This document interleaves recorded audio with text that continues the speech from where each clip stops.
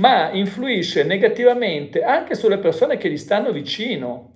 E quindi un problema ha sempre una soluzione, se è un problema. Se è un dato di fatto devi imparare ad accettarlo. No? Infatti c'era qualcuno che diceva, Signore, dammi la forza di riconoscere e dammi, le, dammi la capacità di cambiare ciò che può essere cambiato e la, la, la capacità, la, la forza di accettare ciò che non può essere cambiato e l'intelligenza di discriminare tra i due. Cioè tu devi discriminare tra quello che è un problema e quello che è uno stato di fatto, un dato di fatto, perché un dato di fatto non è un problema. Se tu sei alto 1,50 m, quello è un dato di fatto, non è un problema.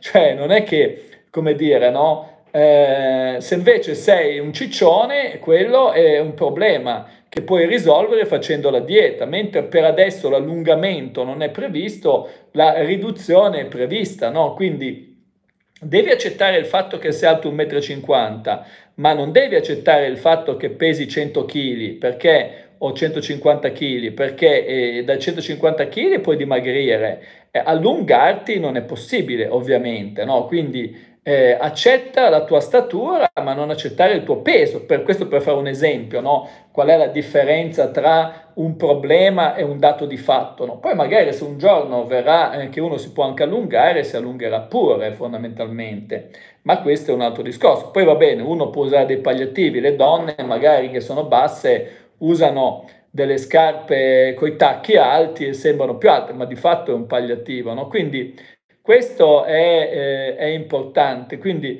le persone, eh, diciamo, nel momento in cui tu ti liberi di una persona di questo genere, ne hai soltanto dei benefici, ne hai soltanto dei benefici questo è un punto fondamentale, no? Tieni presente che, eh, che le, le, le, cose fondamentali sono, eh, sono quelle che tu puoi risolvere. Salutiamo la nostra Rosi, la nostra Rosi.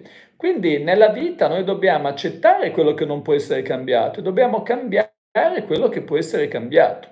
E questo è un po' il concetto fondamentale che dobbiamo portare avanti. Questo ha un impatto ovviamente anche sulla salute, quindi dobbiamo eliminare dalla nostra vita, eh, dalla nostra vita le persone negative, eh, le persone che portano sfiga, le persone che hanno una visione negativa della vita.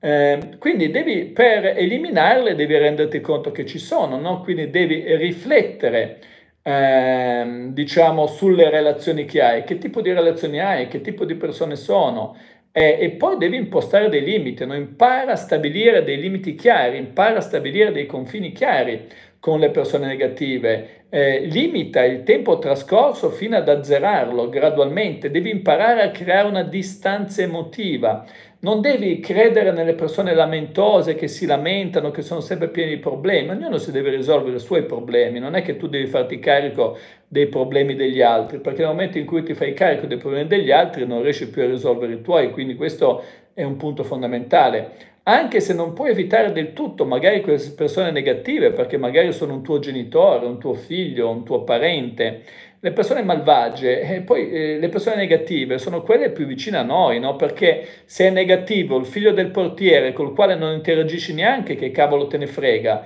quello è come è.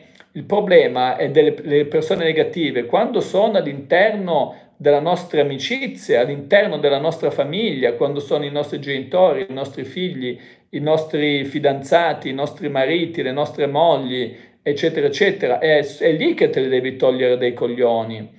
Cioè devi creare distanza emotiva. Ovviamente se è un tuo genitore sarà difficile liberartene, se è un tuo figlio sarà difficile liberartene, però devi comunque mettere una distanza emotiva, non devi assorbire le emozioni negative, devi mantenere un atteggiamento neutrale, un atteggiamento positivo e devi parallelamente imparare a creare, a coltivare delle relazioni positive, cerca attivamente di stabilire. Se invece si tratta di un fidanzato, una fidanzata, eh, quelli levateli dei coglioni, perché quelli non è che c'è un vincolo familiare che, è come dire, è quello del tuo genitore, il tuo figlio, te lo devi tenere, ma se si tratta di un fidanzato e di una fidanzata, levatelo dalle palle o di qualcuna eh, del genere, tolto dai coglioni, ma comunque in generale devi creare una distanza emotiva.